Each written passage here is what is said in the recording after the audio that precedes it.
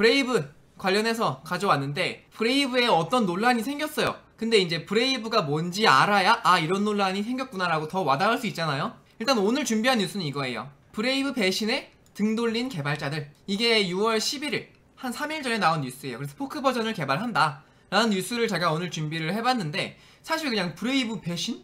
포크 버전 개발? 이렇게만 보면은 사실 별 재미가 없거든요. 이 뉴스를 일단 처음에 보여드리고 일단 브레이브에 대한 얘기를 한번 먼저 해보도록 할게요. 일단 브레이브에 대해서 알려면은 1995년으로 돌아가 봐야 돼요. 1995년. 꽤 멀리 돌아가죠. 제가 예전 사실 그 브라우저의 전쟁 영상에 설명을 드렸는데 이게 1990년도 이 CERN이라고 하는 이제 유럽 입자 물리 연구소에서 이제 처음 WWW 월드 와이드 웹이 탄생을 했어요. WWW가 생기고 이제 인터넷이 조금씩 이제 퍼지고 있던 시기가 이제 1995년도예요. 고작 이제 5년 된 건데 이때 이제 좀 시대적인 상황과 이제 웹 브라우저의 점유율에 대해서 한번 살펴보자면은 거의 초창기의 인터넷이에요. 얘가 모자이크라고 하는 애거든요. 그래서 이제 모자이크라는 웹 브라우저가 90년도 이 초창기부터 이제 브라우저 시장을 잡고 있었어요. 이제 이거를 이제 사업화 사업화하는 과정에서 이게 입자 물리 연구소에서 개발됐잖아요. 그래서 이제 이거를 이제 사업화하는 과정에서 저작권 문제로 이 모자이크 개발자가 새롭게 개발한 브라우저가 있습니다. 그게 이거죠. 새롭게 개발한 브라우저가 이, 이 내비게이터라는 거죠. 이게 넷스케이프에서 만든 내비게이터인데 이제 모자이크보다 발전된 브라우저였죠. 왜냐면 개발자들은 원래 두 번째 만들 때 제대로 만들잖아요. 그죠? 그래서 이 개발자가 이제 빠져나와가지고 내비게이터를 이제 만들었는데 1995년도 같은 경우에는 얘가 점유율 90%가 넘었어요.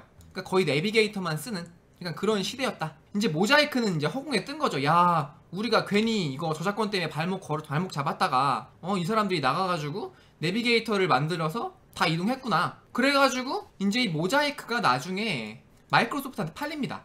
이제 모자이크가 결국에 이제 마이크로소프트한테 팔립니다. 모자이크를 기반으로 이제 인터넷 익스플로러가 생겨난 거예요. 그래가지고 모자이크가 마이크로소프트한테 팔린 이후에 이제 95년도부터 이제 본격 내비게이터와 마이크로소프트의 인터넷 익스플로러 얘가 이제 본격 이제 서로 긴장감을 가지면서 서로 이제 더 좋은 브라우저를 한번 만들어 보겠다 라고 하면 서로 이제 긴장감을 가지고 눈치를 보고 있었던 때인데 넷스케이프는 여기서 이제 이 내비게이터를 발전을 시켜서 이 경쟁에서 이제 우위를 이제 차지해야 되는 거 아닙니까 그래서 이제 인재들을 수소문을 했던 때예요. 솔직히 이때 시대에 브라우저 개발자가 사실 많이 없었거든요. 그러다가 이 내비게이터 메인 개발자가 UIUC를 나왔어요. 어떤 학교죠? University of Illinois 일리노이 주립대 일리노이 주립대 어바나 샴페인 UIUC를 나왔는데 이 학교 내에서 이 실력이 출중한 이 프로그래머를 이제 수소문하고 다닙니다. 그래가지고 발견한 사람이 브랜든 아이크라는 사람을 본격 영입을 하게 됩니다. 이만큼 저기요 인신공격하지 마. 이분 대단하신 분이에요, 여러분들.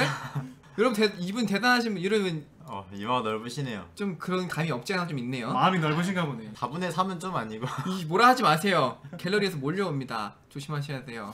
그래서 1995년도에 이제 내비게이터가 똑똑한 인재가 누구 있냐 해가지고 브랜든 아이크를 내비게이터가 영입을 해요. 아 내비게이터가 아니라 넷스케이프가 영입을 합니다. 그래가지고 이때가 1995년 4월이었어요.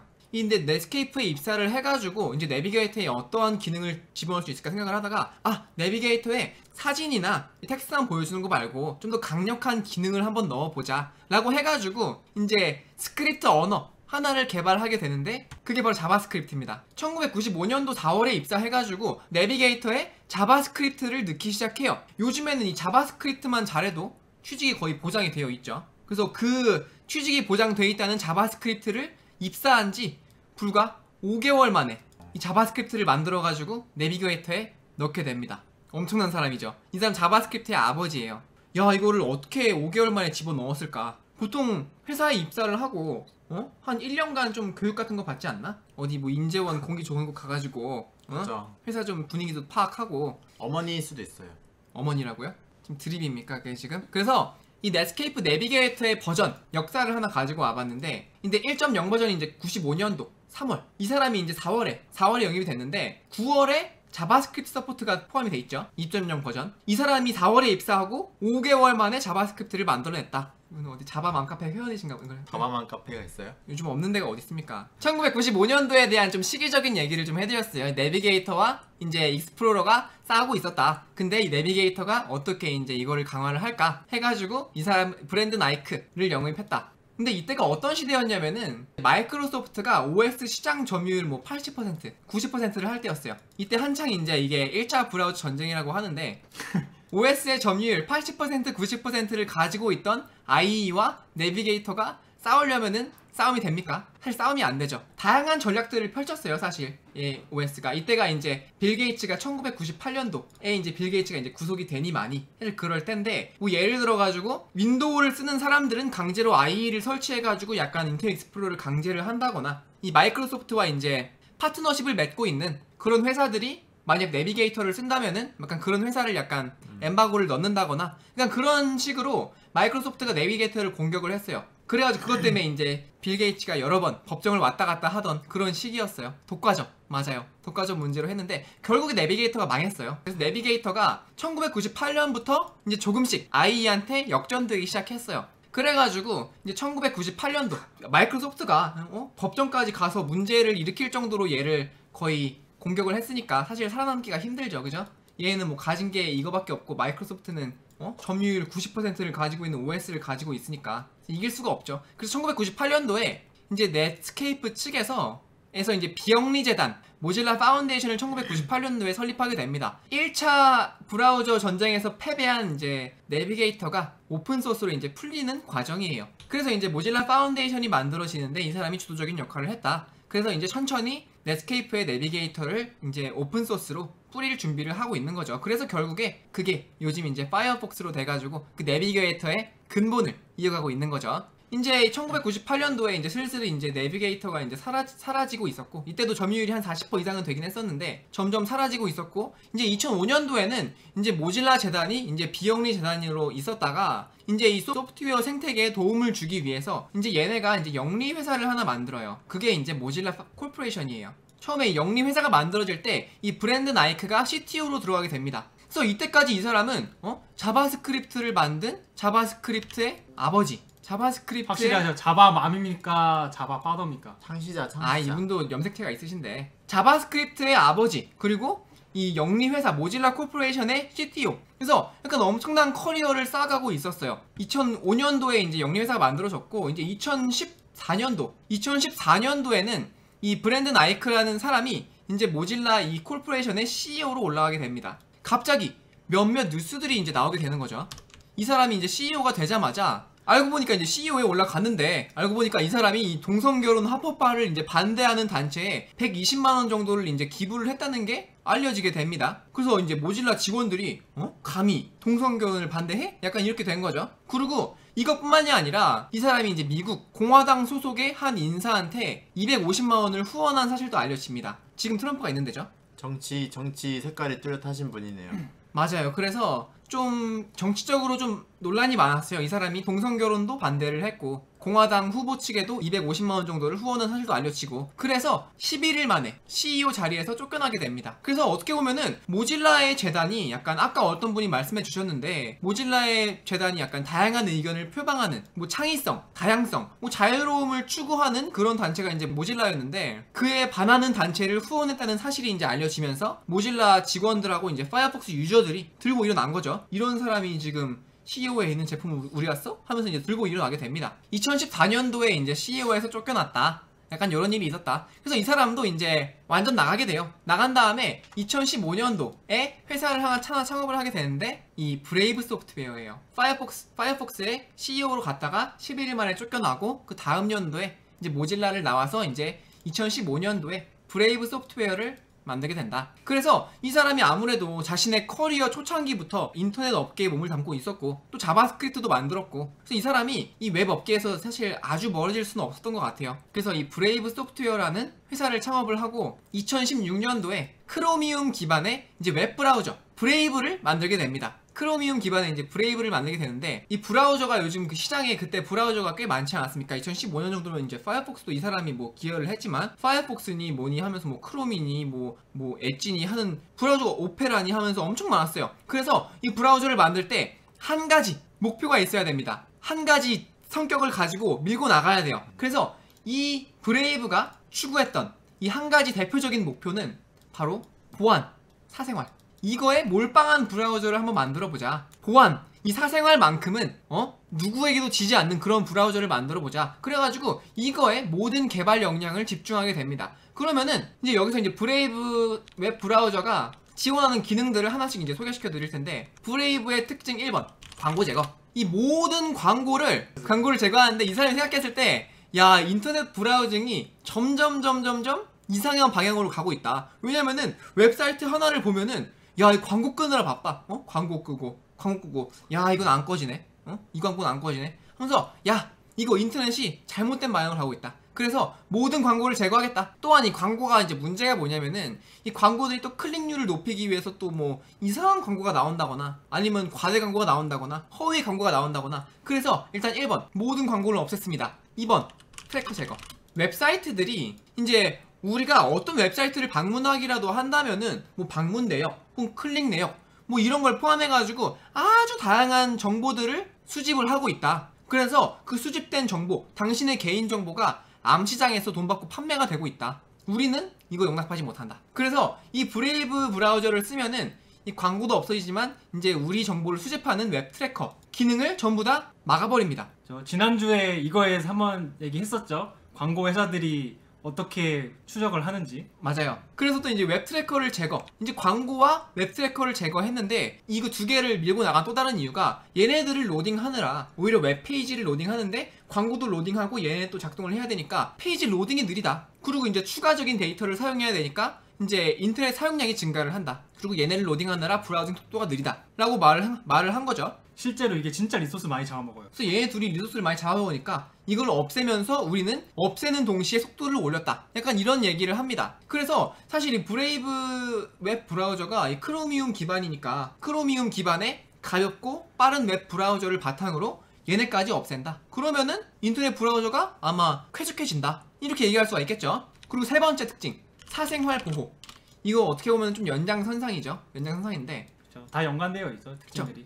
그래서 여러분들 크롬이나 혹은 뭐 파이어폭스나 엣지 뭐 이런 곳에서 뭐 사생활 보호 모드가 있잖아요. 뭐 예를 들어서 뭐 control shift N이라든가 control shift I라든가 하면은 이제 사생활 보호 모드가 딱 이제 오픈이 되는데 이 브레이브 소프트웨어는 안 그래도 이 사생활을 보호하는데 최적화된 브라우저다 보니까 이 사생활 보호 모드도 일반적이면 안 되겠죠. 이 사생활 보호하는 브라우저가 만드는 사생활 보호 모드가 뭘까요? 바로 이 사생활 보호 모드에 토르 브라우저를 집어넣습니다. 이거 엄청난 거예요.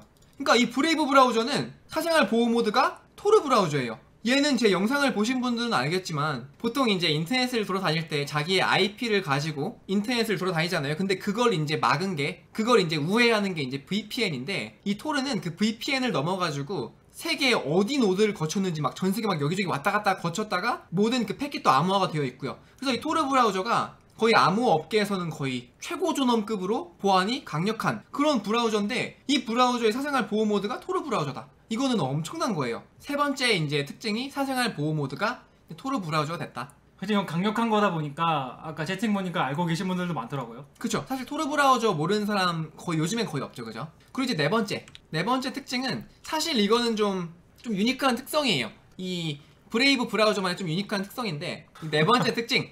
이 블록체인 기반의 웹 브라우저 브레이브 정식 버전 출시. 이게 2019년입니다. 그래서 뉴스를 하나 한번 살짝 가져와 봤어요. 그래서 이제 얘네들이 야 제가 사실 브라우저가 블록체인 기반이냐 이게 뭐 어떻게 돼야 블록체인 기반이냐를 한번 살펴봤는데 이 브레이브는 자체 암호 화폐인 이 베이직 어텐션 토큰을 제공하는 블록체인 기반 보상형 웹 브라우저다. 뭐 이런 내용이 있었어요. 이 브레이브가 분명히 아까 광고가 없다고 했는데 여기 광고란 얘기가 나오잖아요. 그죠? 그래서 이 사용자들한테 동의를 얻은 경우에 동의를 얻은 경우에 선택적으로 광고를 보냐 안 보냐를 이제 유저한테 이제 동의를 받는 거예요. 그래가지고 브레이브가 제공하는 광고를 볼 수 있게 하겠다. 그래서 이 광고를 보면은 이 코인으로 이제 광고의 수익을 이제 사용자들한테 조금 나누어 주는 뭐 그런 방식으로 이제 해가지고 이제 블록체인 기반이다. 그래가지고 광고를 봐가지고 이 토큰을 모으면은 나중에 이제 기사들이나 유튜브 트위치, 뭐 슈퍼챗이나 뭐 트위치에서 후원할 때 이 크리에이터들에게 이 베이직 어텐션 토큰을 전송하면서 후원할 수 있게 해주겠다라고 하는 거죠. 뭐 거래소에 있으면은 뭐 현금으로 팔 수도 있겠죠. 그쵸. 현금으로 팔 수도 있겠죠. 그래서 이 광고를 없애는 브라우저로 나왔으나 선택적으로 광고를 시청한 사람들에게 이 토큰을 나누어 주겠다. 해가지고 이거를 여러 곳에 쓸 수 있게 해주겠다. 뭐 이런 얘기를 좀 했어요. 그래서 여기 브레이브가 자체 암호화폐 베이직 어텐션 토큰을 이야기를 하는데 사실 이, 이 아까 그 브랜든 아이크 이 CEO가 2017년도 5월에 이 베이직 어텐션 토큰을 ICO를 했다고 알려져 있어요. ICO가 이제 투자자들 모으는 거죠. 그래서 이제 450억을 모금했다고 해요. 브랜든 아이크 이 사람이 JS의 아버지, 아까 보니까 이제 할아버지시던데요. JS papa. JS의 할아버지, JS 할아버지. 모질라의 CEO 베이직 어텐션 토큰을 ICO한 CEO 좀 특이하죠 그래가지고 저도 이제 베이직 어텐션 토큰의 이름을 듣긴 했었는데 아 이렇게 사용되고 있었구나 이 사람들이 광고를 보면 그게 돼가지고 뭐 트위치나 유튜브나 이런 데 쏠 수 있는 그런 돈으로 환전할 수 있는 뭐 이렇게 사용되고 있었구나 그래가지고 이 사람이 또 이제 아까 제가 블록체인 friendly라고 했잖아요 그래서 브라우저 내에서 암호화폐를 거래하게 하겠다. 그래서 브레이브에 바이낸스 위젯을 통합하기도 합니다. 뭐 이런 식으로 해가지고 뭐 코인을 사거나 팔거나 전송하거나 뭐 하는데 조금 뭐 편리한 뭐 그런 위젯도 제공하는 것 같아요. 그래서 아까 쪽으로 돌아가자면은 이제 브레이브 브라우저라는 게 광고 제거, 웹 tracker 제거, 사생활 보호 그리고 뭐 토르 브라우저 사용하고요. 블록체인 friendly. 그래서 이제 개인정보 보호 혹은 보안에 특화된 브라우저다. 거기다가 이제 또 크로미움 기반이라 속도도 나쁘지 않다. 그래서 이제 유저들이 계속 증가하고 있다. 크로미움. 증가하고 있다. 전 세계적으로 천만 명, 이 조금 안 되는 유저가 매월 이 브레이브 브라우저를 사용하고 있다. 요즘 브라우저를 만들면은 점유율 얻기가 쉽지가 않은데 요즘에 나온 브라우저인데도 불구하고 뭐 보안 특화된 특징들을 제공하다 보니까 유저를 단시간에 좀 많이 모을 수가 있었다. 그러다가 이제 뉴스가 하나 터진 거죠. 이게 오늘 제 주제입니다. 맨 처음에 보여드렸던 뉴스 기억하시죠? 이제 그게 나오기 시작하는 거예요. 프라이버시 웹 브라우저 브레이브의 배신. 제목이 좀 헤드라인이 좀 자극적이에요, 그죠? 그래서 아까 아까 여러분들이 보셨듯이 아 52분이지 나왔어요? 아 죄송해요 오늘 자 이제 시작입니다. 아 이제 시작 아니에요 사실 그 마무리 단계예요 그래서 오늘 이제 얘기하고 싶은 뉴스가 저번 주에 나온 뉴스예요 그래서 뭐 제가 아까 말씀을 드렸듯이 이 브레이브라는 브라우저랑 이 바이낸스랑 협력을 해서 뭐 편의 기능이 있었다 뭐 편의 기능을 만들었다 이런 소식이 있었죠 그 바이낸스랑 파트너십을 체결하고 세 달 뒤에 이런 뉴스가 나오는 거예요 뭐 예를 들어가지고 야 브레이브 어? 뭐 프라이버시 강화를 내세워서 등장을 했지만 알고 보니까 이 바이낸스랑 어떻게 파트너십을 맺었는지 모르겠는데 URL에 binance.us를 입력하면은 이 주소로 가- 이 주소로 redirect가 되더라. 자동 완성되게 만들었다. 라고 하는 거죠. binance.us나 이 주소 둘 다 바이낸스 같은 미국 사이트로 이동을 하지만 이 뒤에 얘 같은 경우에는 정보를 추적하고 수익화하는 데 쓰일 수가 있다는 거죠. 그래서 이제 바이낸스 미국 사이트 접속하면은 얘를 통해 유입됐다 라는 기록이 남고 이 브레이브가 알고 보니까 수익을 좀 얻고 있었더라. 우리 모르게 이거 막 어? 오픈 소스라고 하고 뭐 보안 지켜준다고 했지만 알고 보니까 기록도 남고 수익을 얻고 있었더라. 그래서 이 브랜던 아이크 CEO는 트위터를 통해서 기본 값으로 이제 제휴 코드가 추가돼 이게 제휴 코드인 것 같은데 이 reference code 맞죠? 이 제휴 코드가 자동 완성되도록 해왔는데 사실 이렇게 해서는 안 됐다. 죄송하게 생각한다. 신속하게 수정하겠다. 야 믿었던 웹 브라우저한테 배신을 당했다. 약간 이런 분위기가 생겨나기 시작합니다. 그러니까 바로 반응이 옵니다. 여러분 제가 맨 처음에 보여드렸던 뉴스예요.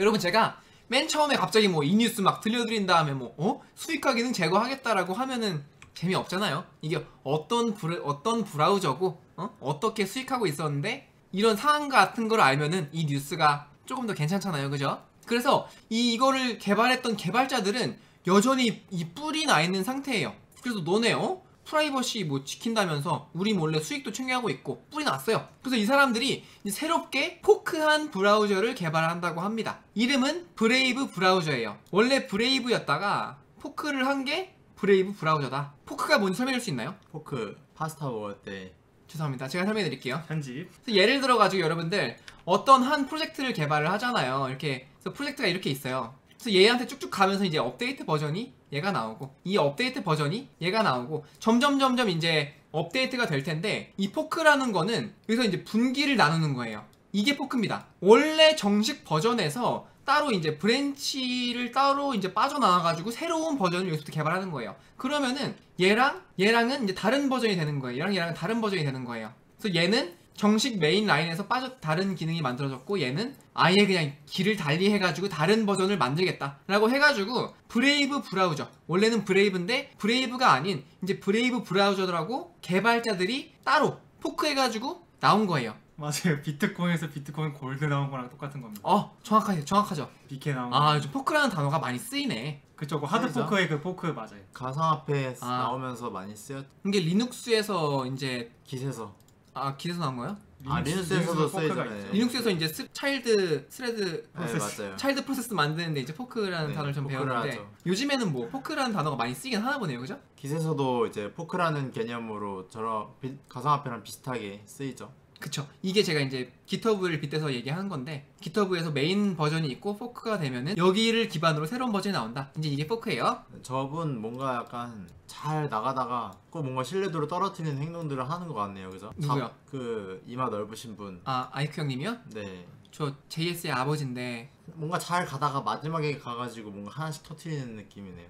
그래서 아까랑 같은 뉴스예요. 같은 뉴스인데 이 개발자들이 우리가 fork하는 버전에서는 모든 adware를 제거하겠다. 아까 브레이브가 이제 선택적으로 광고를 보여준다고 했잖아요. 그거를 아예 아예 없애버리겠다. reward 없애겠다. 제거하겠다. 브레이브 together 이건 뭐죠? 약간 알고리즘 together 따라한 건가?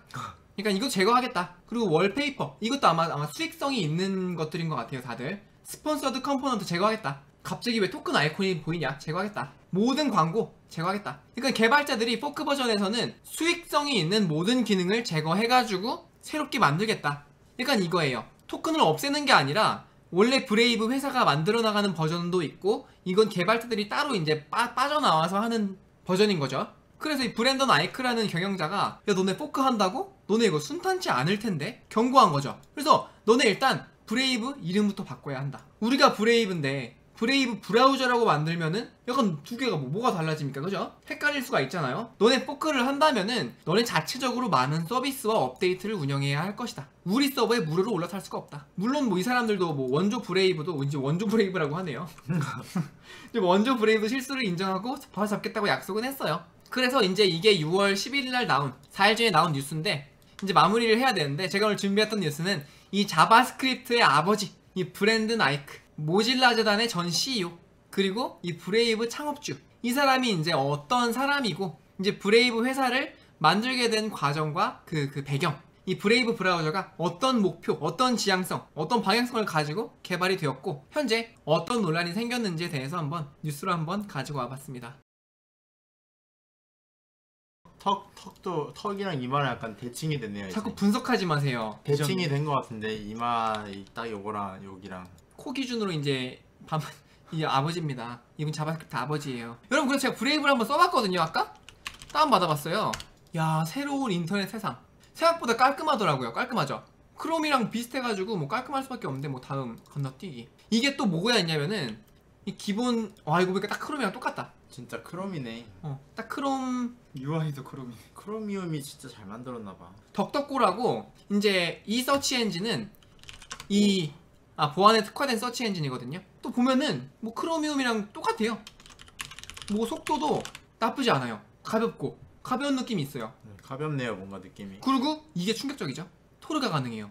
자체적으로. 이- 전 이거 보고 좀 충격받았어요. 야 진짜 보안에 신경 쓰긴 진짜 했구나. Tor가 들어가서 my IP my IP.com 들어가면은 아마 Tor node라고 뜰 거예요 IP가. 만약에 뭐야 캡처가 있네. 사람 이문이다. 아 이것도 Tor라서 로딩도 느려요. 아 이거 여러분 인류에 도움이 되는 마음으로 합시다. 어 여기 써있는 거 H 캡처 적용되네요. 토르도 기본적으로 내장이 되어 있다. 물론 토르는 뭐 빠를 순 없다. 그래서 저도 이제 아, 아마 종종 쓸 것 같다.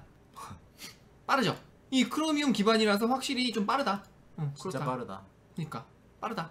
야 근데 포크 된 게 진짜 운영이 잘 될까 모르겠어요. 좀 지켜봐야 될 것 같아요. 사실 그 브랜든 아저씨 말도 맞거든요. 이걸 운영하는 게 사실 쉬운 일은 아닐 텐데 그냥 개발 포크만 했다고 해서 그냥 제품이 운영되는 게 아니니까요. 오, 내가 인터넷을 하면서 몇 초가 절약됐냐도 알려주네요. 어 광고 빼고 하면서 그니까요. 뭐 아무, 아무튼 여러분 제, 제 뉴스는 여기서 마무리할게요. 결론 브레이브 나쁘지 않다. 한번 써보시라.